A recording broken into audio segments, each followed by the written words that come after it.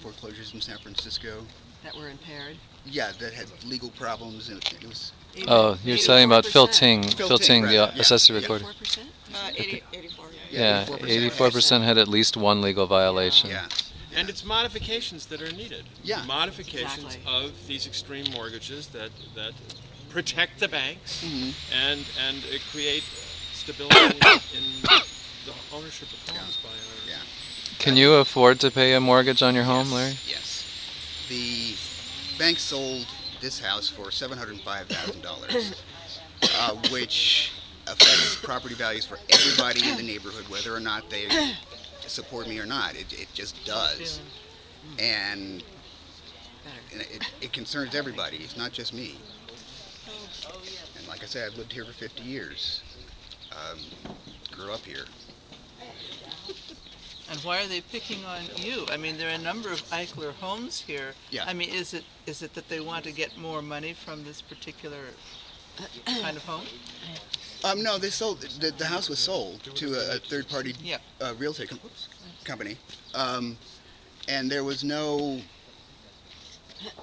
no notice to me. I, I don't know. I, I think my gut feeling is that Wells Fargo got vindictive after I complained to Senator Feinstein's office and kept complaining about their behavior to HUD and the Home Affordable Mortgage Program and to everybody else so that it's clear they did something wrong. Um, and the bank keeps coming up with different explanations of, of what they claim to have done. And so far, we're up to four different explanations, conflicting ex- explanations. Like, you know, I know that if I were stopped by the police and had four different explanations, No. they, would, they would just take me away. It just wouldn't be any question. You know, but they get away with it. Um, So far, so far, it just doesn't make any sense. Has Occupy been successful in getting homes that have already been sold back?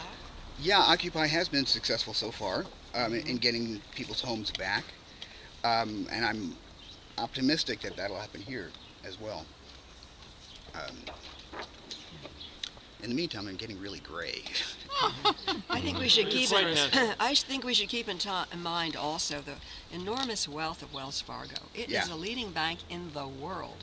Mm-hmm. And the San Francisco Chronicle uh, stated just a few uh, weeks ago that Wells Fargo's earnings were the highest ever in the, in the third quarter.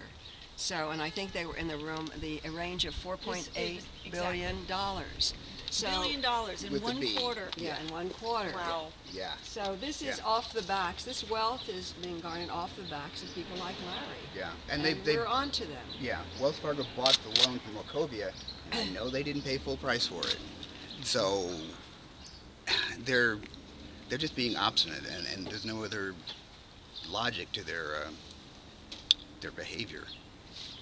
why do you think they gave you, gave you another two-week reprieve? Um, pressure on the sheriff's office from Occupy Noe, Occupy Bernal, um, Supervisor Wiener, and Woo, um, yeah, Supervisor other- Avalos? Yes, Supervisor Avalos, Avalos. Yeah. Um, because it was just it was just so crazy to evict just me and let two people stay here. If it was you know separate units, it'd be one thing, but this is just a regular four-bedroom house. Um, evicting one person doesn't make a whole lot of sense. Question. Is there